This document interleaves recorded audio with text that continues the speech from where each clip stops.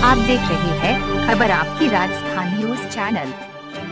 झालावाड़ ज़िले के चौमहला कस्बे में दीपावली के पावन पर्व पर कस्बे के समाज सेवी बगदीराम गायरी द्वारा ग्राम पंचायत के सफ़ाई कर्मियों को सादियाँ, पेंट, शर्ट व मिठाई भेंट की व दीपावली की शुभकामनाएँ दी। जिला परिषद सदस्य प्रतिनिधि अशोक गायरी ने बताया कि सफ़ाई कर्मी नगर को स्वच्छ और साफ़ सुथरा रखते हैं। दीपावली के पर्व पर हमें से पहले सफ़ाई कर्मी दीपावली की खुशियाँ मनाएँ। इसलिए हम पिछले चार वर्षों से सफाईकर्मी महिलाओं व पुरुषों को साड़ियाँ, पेंट शर्ट व मिठाई उपहार वितरण करते आ रहे हैं, ताकि वो दीपावली पर्व खुशी से मना सके।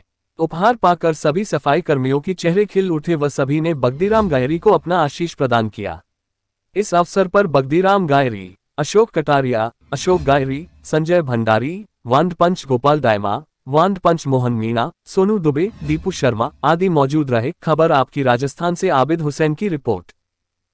पूरे वर्ष पर्यंत हमारे चौमेला नगर की साफ़ सफ़ाई का ध्यान रखकर जो हमेशा एक स्वच्छता और साफ़ सफ़ाई करते हैं हमारे चौमेला के नगर के सफ़ाई कर्मी आज दीपावली के पावन पर्व पर सर्वप्रथम दीपोत्सव इन लोगों के साथ मनाया गया, जिनको उपहार स्वरूप औरतों को साड़ियाँ, मिठाई व पुरुष को कपड़े और मिठाई भेंट की गई।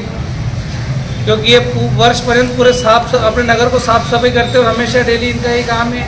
काफ़ी अच्छा कार्य करते हैं इनको, इसलिए मेरी ओर से शुभकामनाएँ सभी को।